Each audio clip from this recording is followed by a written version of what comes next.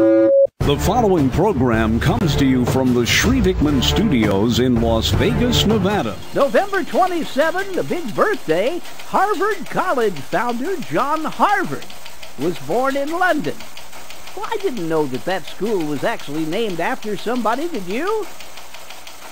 Bob Whittmore goes back into the pages of history again tomorrow from the Almanac Desk, right here on YouTube.